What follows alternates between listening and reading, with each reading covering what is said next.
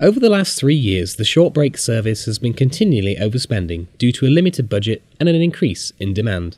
Nottinghamshire County Council, alongside its partner in this project, Nottinghamshire Parent Carer Forum, wanted to work together with parents, carers, children, and young people to co produce a more sustainable short breaks model for the future.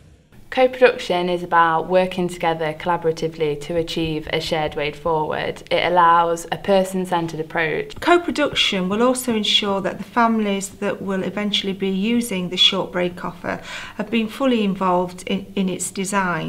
So it brings everybody into one room so we can answer some really difficult questions together.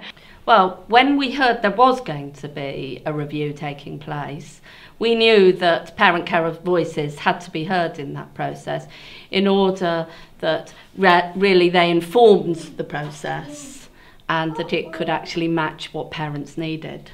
I just felt it was really important um, as a parent of a child with additional needs um, who already accesses uh, short breaks provision to be involved with the outcome of it. You know, it's no use me complaining that they take hours off me or whatever else if I'm not being involved in the discussion. So I I really just welcome the opportunity to get involved and, and have a say in, in what happens. Children, young people, and families have shared their views with us via summer events, an online survey, and a parent working group. The working group have used these views to develop a proposal for a new short breaks offer. 70% of responses said that they would prefer to request an assessment online. Therefore, the new offer proposes an online assessment tool. 56% of responses either agreed or strongly agreed that NCC should focus its short breaks provision on the most vulnerable children with clear eligibility criteria. Therefore, the new offer proposes an eligibility criteria to ensure that families who have vulnerable children are able to receive the support that they need. 71% of responses said that they agreed that short breaks should be reviewed annually.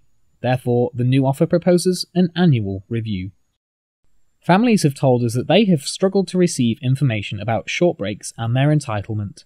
Therefore, the new offer includes the commitment to improve information sources such as the local offer, which will be developed in co production with families.